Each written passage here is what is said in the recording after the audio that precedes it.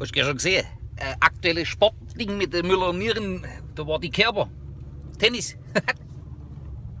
Zwei Wochen durchgefeiert. Australien, Grand Slam Ding.